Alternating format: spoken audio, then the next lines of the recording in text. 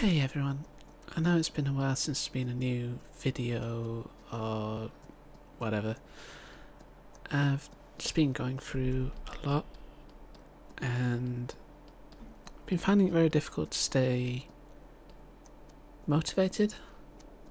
Um, there is a lot of stuff I need to edit and I do look forward to posting it if I finally get around to finishing it, um, editing or whatever.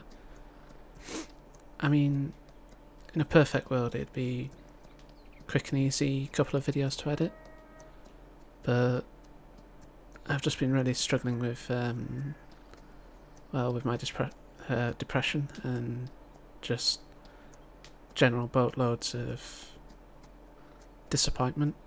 Um, and unfortunately, this isn't that perfect world where the Cowboy Bebop live action wasn't so offensively heartbreaking. Mushy mushy.